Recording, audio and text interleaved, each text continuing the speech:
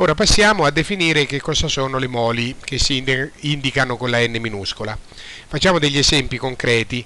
Prendiamo l'acqua, non necessariamente in fase gassosa, può essere anche liquida o ghiaccio, e già sappiamo che una molecola d'acqua eh, ha la massa di 18 UMA. Allora, per definizione, una mole eh, d'acqua sono 18 grammi d'acqua o in altre parole la massa molare dell'acqua è 18 grammi. In pratica che cosa abbiamo fatto? Abbiamo eh, tolto UMA e l'abbiamo sostituito con grammi, abbiamo oh, tolto un'unità di misura e messa un'altra. Infatti eh, una mole è una quantità di grammi numericamente uguale, quindi 18 rimane 18, numericamente uguale alla eh, quantità, alla massa della molecola espressa in UMA. Quindi una quantità di grammi eh, numericamente il 18 rimane uguale alla massa della molecola espressa in UMA, quindi vuol dire che al posto di UMA devo mettere grammi. Eh, l'anidride carbonica, la, sua, la, massa di una sua molecola è 44 UMA, levo UMA, metto grammi e ho ottenuto una mole di anidride carbonica. 44 grammi è la massa molare dell'anidride carbonica. Metano 16 UMA la molecola, la massa della molecola, levo UMA, metto grammi che cos'è una mole di metano? Sono 16 grammi di metano.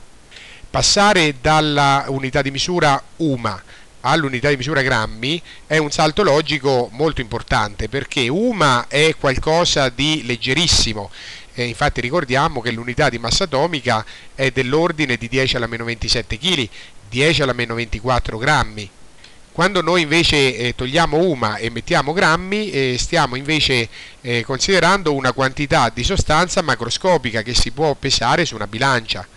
Quindi il salto da UMA a grammi vuol dire passare dal mondo microscopico, la massa delle singole particelle, al mondo macroscopico, cioè delle masse che si trovano dentro provette oppure che si possono pesare sulle bilance. Quindi si passa da una particella a una mole, quindi da una cosa leggerissima a una quantità di sostanza macroscopica in grammi. Qui ho fatto esempi con le molecole, ma posso fare anche esempi con gli atomi.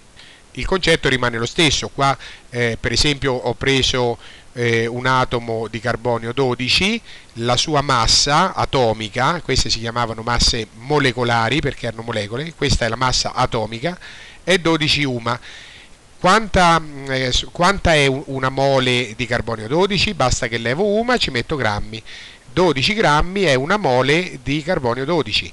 Se prendo il carbonio 14, che è molto meno abbondante, prendo il carbonio 14, la massa della molecola 14 UMA, levo UMA, metto grammi e ho ottenuto una mole di carbonio 14.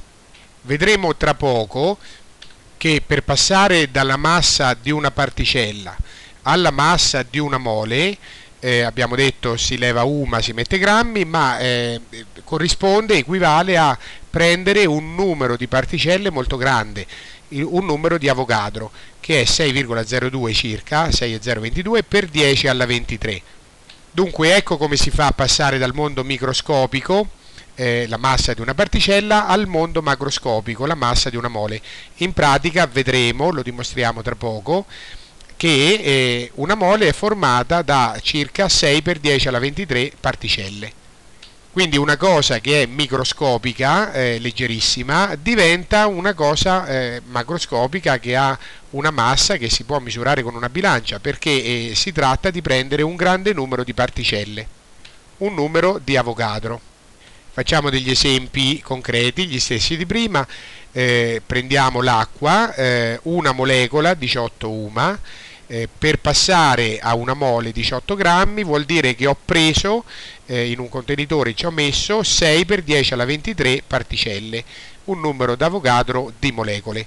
Prendiamo l'elio 3 questi sono atomi la massa dell'atomo è 3 UMA ma allora per passare a una mole 3 grammi vuol dire che ho preso un numero d'Avogadro cioè 6 per 10 alla 23 atomi di elio 3 lo stesso con l'elio 4 eh, ho preso eh, 6 per 10 alla 23 atomi di elio 4 così sono passato da un atomo a una mole. Eh, 4 UMA la massa di un atomo 4 grammi la massa di una mole. In pratica è questo il disegno. Eh, una sola particella è, la massa eh, della particella quindi la massa molecolare o la massa atomica eh, una sola particella, ma io ne prendo un numero enorme, ne prendo un numero 6 per 10 alla 23 e alla fine eh, tutta questa massa contenuta qua dentro è eh, espressa in grammi. Quanti grammi?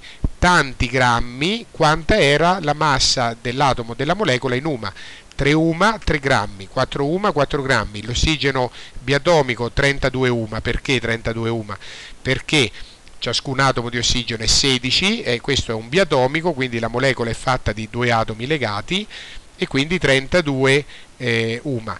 32 UMA, 32 grammi, che cosa ho fatto per passare dal mondo microscopico della singola molecola eh, al mondo macroscopico dei 32 grammi?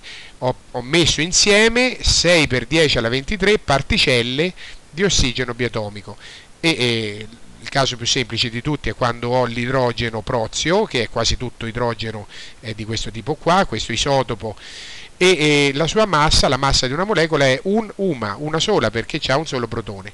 Come faccio a passare da una UMA a un grammo? Prendo un numero di Avogadro, quindi 6 per 10 alla 23, atomi di prozio, cioè di idrogeno. Dunque è questo enorme numero di Avogadro che fa passare dal mondo microscopico di una particella al mondo macroscopico di una mole. Vediamo adesso come si dimostra questo numero, come si ricava.